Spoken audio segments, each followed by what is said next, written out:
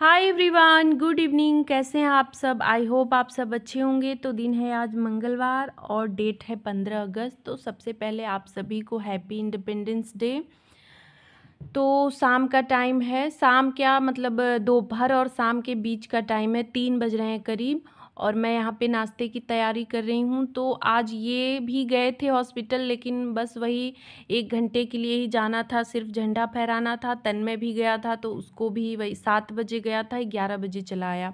तो सुबह मैंने कुछ नाश्ता वगैरह नहीं बनाया था, खाना ही बनाया था, ये भी खा के गए थे, दस बजे गए थे तो मैंने डायरेक्ट खाना ही बनाया था, फिर आ गए ग्यारह, साढ़े ग्यारह बजे तक आ गए तो अभी नाश्ते की ज़रूरत मतलब कुछ न कुछ खाने को चाहिए तो यहाँ पे मैं वही नाश्ते की तैयारी थोड़ी सी जल्दी मैं लग गई थी, और जो आज मैं नाश्ता बना रही हूँ, उसमें थोड़ा सा टाइम भी लग जाता है तो इस वजह से थोड़ा सा जल्दी मुझे तैयारी करनी पड़ी। तो यहाँ पे मैंने गेहूँ का आटा लिया है और सब्जियों में मैंने बीन्स, टमाटर, प्याज, खीरा हरी मिर्च और हरा धनिया ये सब कट किया है। तो गेहूँ के आटे का मैं चीला बना रही हूँ। बहुत ही सिंपल सा है। कुछ नहीं, इसमें मतलब बहुत ज़्यादा बनाने में झंझट नहीं है, सिर्फ़ टाइम लगता है, यही है। इसमें मैंने सारी सब्ज़ियाँ मिला दी हैं और मसाले में मैंने थोड़ा सा गरम मसाला थोड़ा सा लाल मिर्च पाउडर और नमक, काली मिर्च मिलाया था थोड़ा सा जीरा पाउडर। बस यहाँ पे तवे पे डाल दिया है ना तो थोड़ा सा मतलब ना इसको होने में टाइम लगता है। और बनता तो मतलब कोई झंझट नहीं है, कोई मेहनत नहीं है, सिर्फ़ टाइम लगता है। जल्दी जल्दी में ये ऊपर से लाल तो हो जाता है, लेकिन अंदर जो है कच्चा रह जाता है।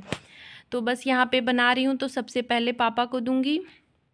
तन्मय नहीं खाएगा क्योंकि उसके लिए मैंने सुबह मैगी बनाई थी, स्कूल में टिफ़िन वगैरह हुआ नहीं तो आने के बाद घर पे मैगी खाया है, उसके बाद जो है अभी कोट के वो खाना खाया है तो उसके लिए नहीं बना रही हूँ, सिर्फ़ हम तीन लोग के लिए। और इधर मैंने चाय भी रख दी है तो चाय और ये चीला मैंने पापा को दे दिया था, अभी यहाँ पे इनके लिए निकाल रही हूँ तो वही है धीरे धीरे बन रहा है तो थोड़ा सा वेट करना पड़ रहा है तो एक एक ठो बना बना के दे रही हूँ।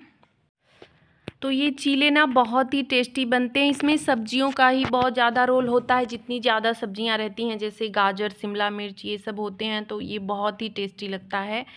ऐसे भी मैंने जितनी सब्ज़ियाँ डाली थी ना तो ये टेस्टी लग रहा था। नाश्ता वगैरह करने के बाद यहाँ पे मैं आ गई हूँ चावल को साफ़ करने। तो थोड़ी देर मैं टीवी देखी मतलब वही चाय पीते पीते। डेली का ही है, हम लोग एक डेढ़ घंटा क्राइम पेट्रोल देखते हैं। ये तो पूरा मतलब छः सात बजे तक देखते हैं।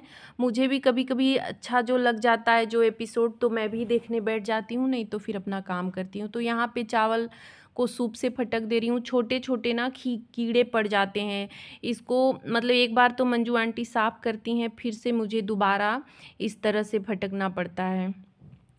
तो चावल वगैरह साफ़ करने के बाद मैंने दिया बत्ती की, सब्ज़ी वगैरह कट कर की और यहाँ पे अब बना रही हूँ रात का खाना। तो रात के खाने में यही आलू और परवल का भुजिया बनेगा और पराठा बनेगा। तो भुजिया बनता है ना तो पराठा वगैरह ही बनता है और या तो फिर जैसे मसाले वाली सब्ज़ी बनाती हूँ तो रोटी वगैरह बनाती हूँ। तो बहुत ही सिंपल सा भुजिया भी बनता है। सिर्फ़ इसमें जो है हल्दी पाउडर नमक, मिर्च पाउडर डालती हूँ और कुछ नहीं, टमाटर डाल देती हूँ बस। यहाँ पे पूजा के बर्तन में ले आई हूँ तो यहाँ पे इसको भी धो ले रही हूँ क्योंकि ना सुबह सुबह जो है टाइम नहीं मिलता है। सुबह भी नहाती हूँ तब भी या फिर सारा काम करने के बाद भी नहाती हूँ ना तो भी जैसे बर्तन वगैरह ये सब धुले रहते हैं। तो सिर्फ़ मंदिर की सफ़ाई करके पूजा करनी होती है, इतना टाइम बच जाता है। वरना फिर ना सुबह जब लेट हो जाता है नहाने में तो ये सारे काम करने में बड़ा आलस आता है। तो मैं रात को ही अक्सर करके रात को ही धुल लेती हूँ। कभी जब ऐसा होता है कि रात को ज़्यादा काम होते हैं, ज़्यादा बिज़ी रहती हूँ तो ये काम छूट जाता है, फिर सुबह होता है। तो यहाँ पे मैंने सारे जो है स्क्रबर वगैरह अलग ही रखती हूँ पूजा के, बर्तन धोने के। तो आज इसको भी जो है इसमें थोड़ा सा पानी जम गया था तो इन सबको धो के अच्छे से यहीं पे रख दूँगी। थोड़ा सा पानी निकल जाएगा तो थोड़ी देर बाद जो है रख दूँगी। तो बस यहाँ पे बना रही हूँ पराठे।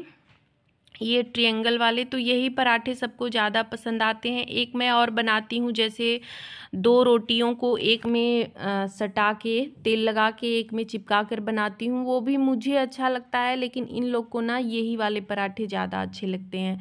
तो पापा को खाना दे दिया था, तन्मय को दे दिया था। ये अभी कहीं गए थे, आए नहीं थे, फ़ोन तो किया था, लेकिन अभी उनको आने में थोड़ा सा टाइम था। तब तक मैं यहाँ पे ये सब साफ़ सफ़ाई कर ले रही हूँ थोड़ा बहुत। पराठे वगैरह रख दूँगी, ये आएँगे तो तभी फिर मैं और ये दोनों लोग साथ में ही खाया जाएगा।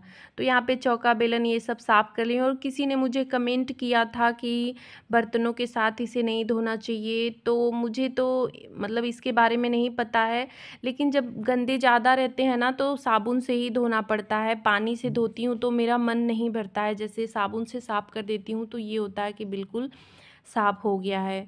फिर यहाँ पे बीन्स लेके बैठ गई हूँ यही कट करने थोड़ा सा टाइम वही बचा था। तो इनके आने में टाइम था तो जब तक ये आए नहीं थे, तब तक सोचा कि ये सुबह वाला काम भी मैं ख़त्म कर लेती हूँ। तो बीन्स, भिंडी, ये सब चीज़ें ना मैं रात को ही कर लेती हूँ। रात को ही कट करके रख देती हूँ। तब तक ये आ गए थे सब्ज़ी कट करते ही तो फिर यहाँ पे खाना ले लिया है। मैं, तन्मय और ये सब लोग साथ ही में बैठे हैं, लेकिन वीडियो में ये लोग नहीं आ रहे हैं, सिर्फ़ मैं ही हूँ। तो साथ, बैठे तो साथ में ही थे, लेकिन जब मैंने वीडियो स्टार्ट किया तो सब लोग हट गए, सिर्फ़ तन्मय उधर बैठा हुआ था। तो होता है ना कि मतलब जितने आसानी से हम लोग आ जाते हैं कैमरे के सामने, उतने आसानी से सब लोग नहीं आना चाहते हैं। तो मैं किसी को बहुत ज़्यादा वो भी नहीं करती हूँ कभी कभी आ जाते हैं लोग, कभी नहीं आते हैं। तो यहाँ पे मैं अपने लिए पराठे, सब्ज़ी और छाछ लेके बैठी हूँ।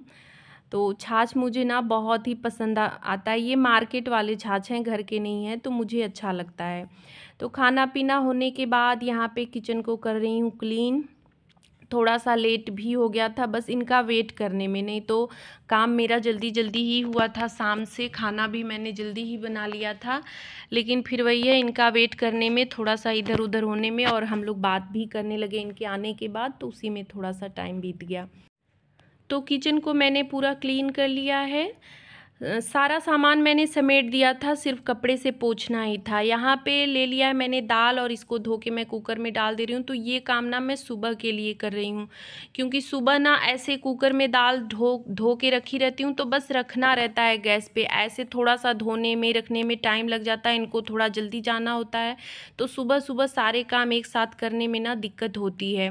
तो ये छोटी छोटी चीज़ें ना मैं पहले ही कर लेती हूँ, इससे जो है किचन का टाइम भी बच जाता है थोड़ा सा कम टाइम में सारे काम हो जाते हैं और कुकिंग भी आसानी से हो जाती है।